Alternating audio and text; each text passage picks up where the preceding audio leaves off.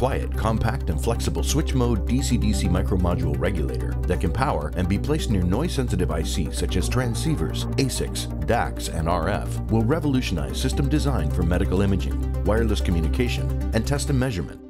The LTM8051 is a quad 1.2 amp, 40 volt in step down silent switcher micromodule regulator with all needed controllers, power switches, inductors, and support components. The silent switcher architecture minimizes EMI emissions, enabling the LTM8051 to pass CISPR 22 Class B. With a configurable output array, one LTM8051 can do the job of four different buck regulators in one small package for quad, triple, dual, and single output applications. The LTM8051 converts 3 volts to 40 volts to output voltages from 0.8 volts to 8 volts. Experience the quiet power of the LTM8051 in your next multi-rail design.